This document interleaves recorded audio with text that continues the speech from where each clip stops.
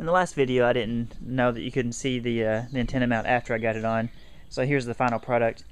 The uh, Like I said, everything all together is less than $25 for sure. And you may be able to, to not, you know, build any of this and use just the antenna with a weight on the back of the stand like I showed you in the very beginning of the video.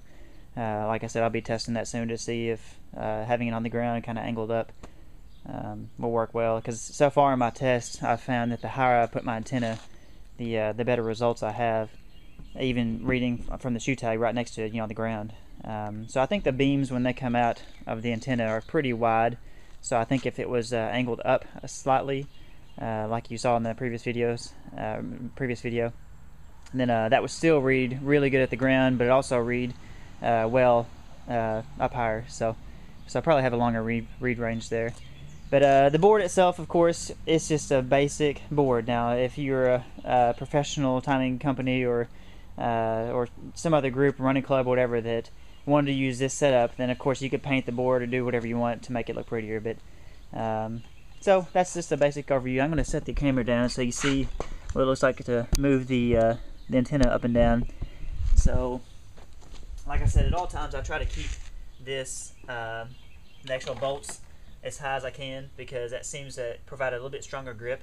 Now it's strong, you know, pretty much all the way up and down, but I've noticed it's definitely tighter uh, if you uh, keep this the, uh, the, the clasp here at the top of this uh, mount. So uh, when I'm moving up and down, a lot of times I take my thumb and I kind of pull down on it to make sure it doesn't like slide down like that. So when I pull down, it just stays where it should. And so so anyways, uh, that's pretty much the the end of the. Like now it's kind of loose a little bit. Anyways, that's uh, that's how the antenna looks when it's all finished. So. And this is, of course, the Thinkified antenna. If you have uh, other antennas, like if you already own a Jaguar system or any other system that uses UHF antennas, then uh, those antennas should also should also work. The connector that's on the back of this is a uh, I think it's called reverse polarity TNC or something like that connector. Um, but uh, you can get connectors, different cables with different adapters. So if your antenna has a different style of connector, you can find a um, usually a cable or a adapter that you know allows you to connect to the uh, Motorola FX7400 or any other readers offered by my my software. So uh, or that works with my software.